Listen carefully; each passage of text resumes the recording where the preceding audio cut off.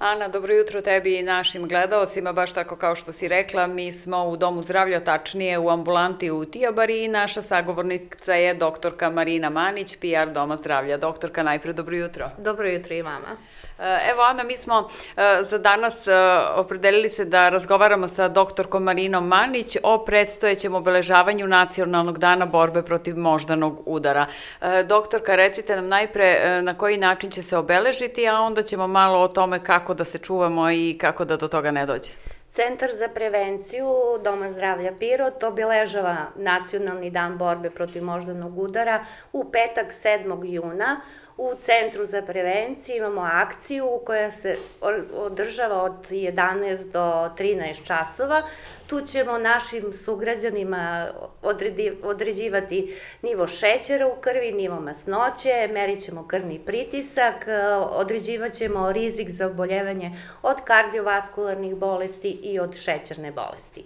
Pored toga, bit će i predavanje na temu prevencija moždanog udara, delit ćemo savete, limfete, naši lekari na terenu držat će predavanja o prevenciji moždanog udara.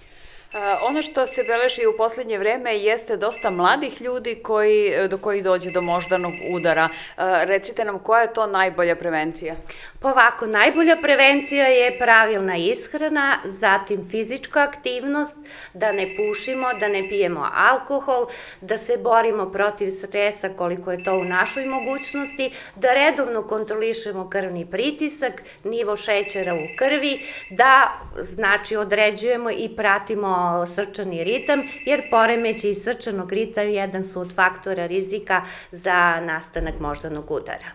A, recite nam, kada su mladi ljudi u pitanju, e, šta je, da li je kod njih taj e, sistematski pregled jednom godišnje dovoljan da prate svoje zdravlje i u, po pitanju moždanog udara, ali i drugih hroničnih oboljenja? Pa mi pri našim ovim akcijama određujemo faktore rizika za nastanak kardiovaskularnih bolesti, tu spada i moždani udar i šećerna bolest, one koji su sa visokim rizikom da delimo savete, upućujemo na izabranog lekara i upućujemo na savetovališta i znači trudimo se da sa, zajedno sa njima uh, regulišemo nivo krvnog pritiska pre svega, da smanjimo nivo masnoće, nivo šećera i da se održava telesna težina u optimalnim vrednostima.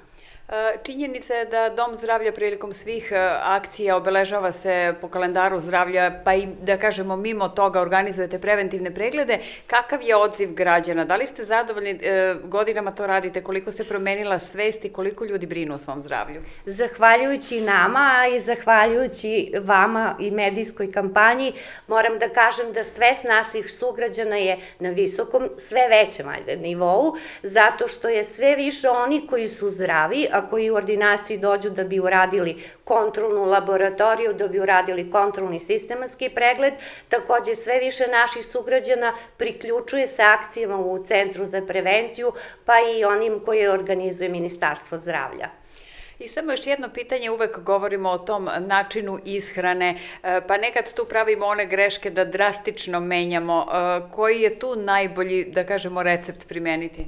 Onako, kako mislimo da treba da se hranimo, odnosno sezonsko voće i povrće, e, posno meso, tu se pre svega misli na što više ribe, na što više piletine, da se izbegava masno meso, da se unosi dovoljna količina tečnosti u organizam i normalno bar 30 minuta dnevno šetnje, blage fizičke aktivnosti, odnosno u zavisnosti od e, stanja, zdravstvenog stanja.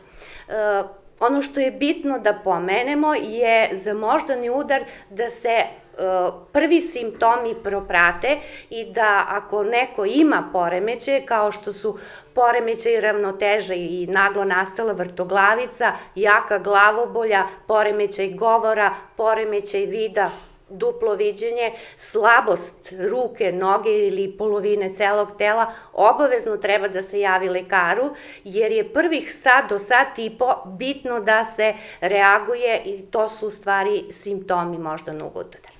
E, nešto o čemu često pričamo, a razgovarali smo i sa vašim direktorom, on nam je rekao o tome, jeste e, ta zabrana zapošljavanja gde je sve manje ljudi. Ja vas neću pitati to, direktor nam je rekao o tome, nego ću vas pitati kako uspevate da pokrijete, s obzirom da su u pitanju sela, e, da ih, kako ih obilazite i kako uspevate ovim akcijama da pokrijete i seosko stanovništvo? Pa naši lekari na terenu uvek učestvuju u obeležavanju kalendara zdravlja, oni drže predavanja, rade sistematske preglede na terenu, tako da seosko stanovništvo ne mora da dolazi u centar za prevenciju da bi odradio sistematski pregled. Odlično, hvala. Hvala i vama. Eto, Anna, čuli smo uobičajeni saveti, znači ishrana, da vodimo računa o svom zdravlju, da primenjujemo terapiju ukoliko su u pitanju hronični bolesnici i da pazimo malo da nekako taj stres eliminišemo, to nam nekako najčešće pravi problem. Studio?